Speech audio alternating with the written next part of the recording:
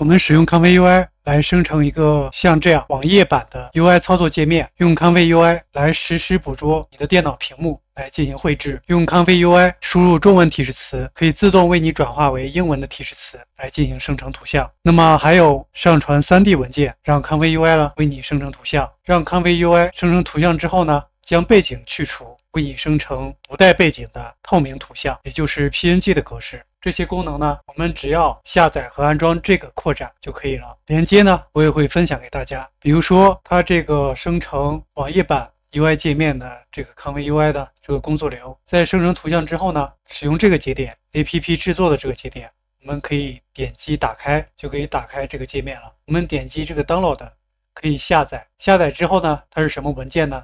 它就是一个工作流文件，和我们这个工作流呢是一模一样的。大家不需要在这个节点上呢。设置任何操作，保持默认就可以了。但是你可以操作它的名称，可以将名称呢进行自定义的修改，修改成什么名字都可以。那么它生成的这个 UI 界面呢，是图生图的 UI 界面，在这里呢可以上传一张图像，下面呢写提示词，上面这个滑条呢就是噪声强度，噪声越低呢它越像原图，噪声越高，它生成的图像就越接近于我们的提示词。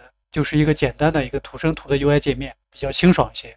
但是呢，它是由康威 UI 来生成的。我们也可以在它的 GitHub 网站上呢，去下载它的这些工作流进行学习和使用。那么，比如说这个生成透明背景图像的这个工作流，它是将图像生成好之后呢，用遮罩将人物呢进行抠除，就可以生成无背景的图像了。然后呢，在它的工作流里面，还能将抠除好的背景人物呢。为你进行一个合并，合并一个新的背景，并加入一些文字设计，生成新的图像。用这一套工作流呢，就可以将生成的图像抠除背景，并且进行新的组合。在这个工作流里，它主要用的是这个语义分割，用语义分割模型呢，将人物和背景进行一个分离，然后提取出来。提取到这里呢，然后下面有两个节点，我们。可以提取索引当中的图片。现在呢，生成有四个图像，那么索引呢就是零一二三。我们提取前两张图像，那么就是索引零和索引一。将索引零和索引一呢进行一个两个人物的组合，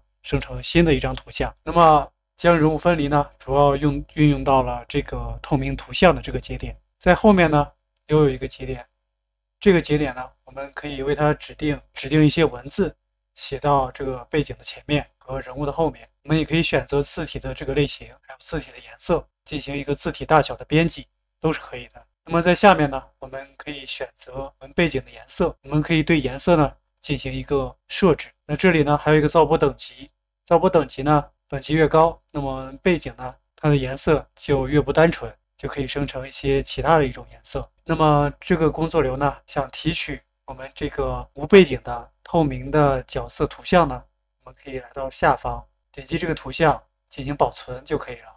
那么需要这个工作流呢，它也分享在我的网盘里面，大家也可以到网盘里去下载。那么今天呢，主要就是分享一下康飞 UI 的这个扩展。如果没有安装的，可以安装一下。它的功它的功能呢还是比较多的。好了，如果觉得今天的这个分享呢对大家有所帮助，那么请帮助我点击关注加三连。我们下期视频再见。